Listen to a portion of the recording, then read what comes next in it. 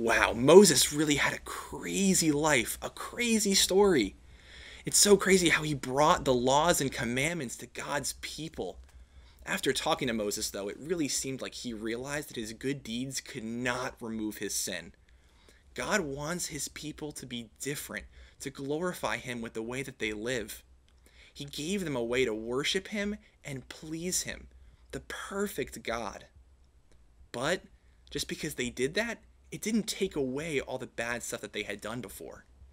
And they still continued to sin every day. But luckily, our God has a plan to fix that problem. And his plan allows these sinful people to have a relationship with him. I can't wait to tell you more about it tomorrow. Come back tomorrow for your daily dose of God's Word, Gospel News.